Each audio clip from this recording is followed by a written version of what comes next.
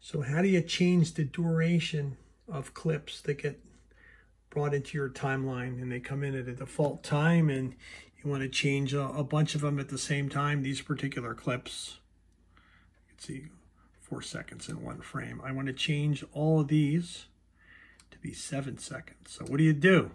You got to change the duration.